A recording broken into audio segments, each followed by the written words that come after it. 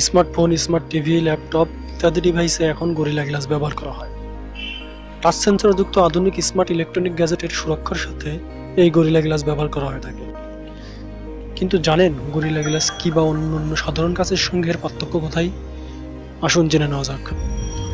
Gorilla glass একটি বিশেষ ধরনের কাজ যা কর্নিং সংস্থা বা কর্নিং আইএনসি কোম্পানির তৈরি। এটি বিশেষ করে স্মার্ট ডিভাইস যেমন ল্যাপটপ মনিটর স্মার্টফোন টিভি ইত্যাদির স্ক্রিন প্রোটেক্ট বা সুরক্ষা করার জন্য ব্যবহার করা হয়ে থাকে।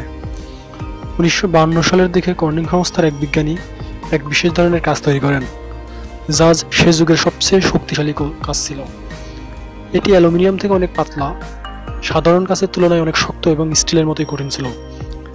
এটা হলো গরিলা গ্লাসের জন্মের কথা। বর্তমান গরিলা গ্লাস কিন্তু অনেকটাই আলাদা।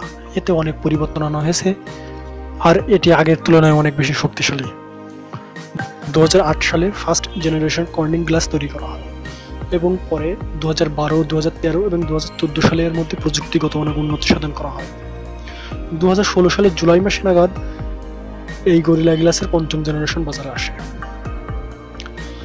চলুন জেনে নেওয়া যাক এই গরিলা গ্লাস কীভাবে কাজ করে।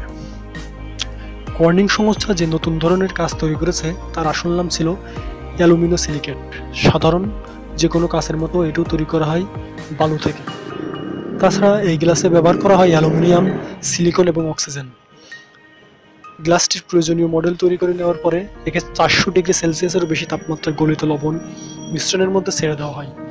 এরপর নানা রকম রাসায়নিক বিক্রিয়ার ফলে গরিলা গ্লাস অন্যান্য কাঁচের তুলনায় আরও বেশি শক্তিশালী এবং নমনীয় হয়ে ওঠে। সাধারণ অ্যালুমিনো সিলিকেট আপনার স্মার্টফোনের স্ক্রিন প্রোটেক্টর হিসেবে সহজেই কাজে লাগাতে পারেন। কিন্তু তা কখনোই গরিলা গ্লাসের মতো শক্তিশালী আর নমনীয় হবে না। গরিলা গ্লাসের প্রস্তুতকারী সংস্থা কর্নিং এর দাবি, এই গরিলা গ্লাস রিসাইকেলেবল এবং এটি পরিবেশের জন্য ক্ষতিকারক নয়।